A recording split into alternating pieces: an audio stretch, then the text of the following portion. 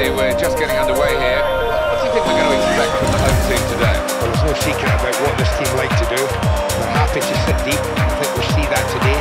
Happy to defend the edge of an 18-yard box. I think we'll see that today. That's in there.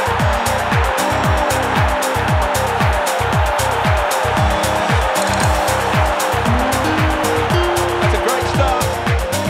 They're keeping possession with their passing here. Fingertips away, great. Interception is uh, a good skill, really. He read the play well.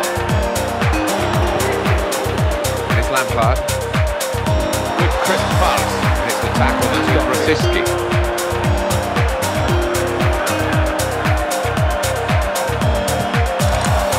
Good team play here. And it leads to the shot.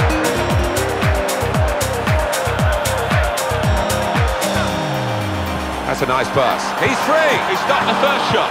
The post back into play. Throwing. And it's Lampard.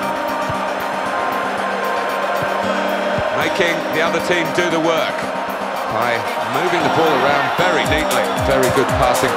Yes! The equaliser. It's another Drogba goal to cheer the defence. Good pass. Goalkeeper might be needed again. Good defending here. Magnificent tackle. Got the ball back. Still going. It's a great chance if he can keep going. Goes for goal. That's it for Chelsea. Nothing like one goal to give you the confidence for another, and that's just what's happened here. Well, that's a surprise.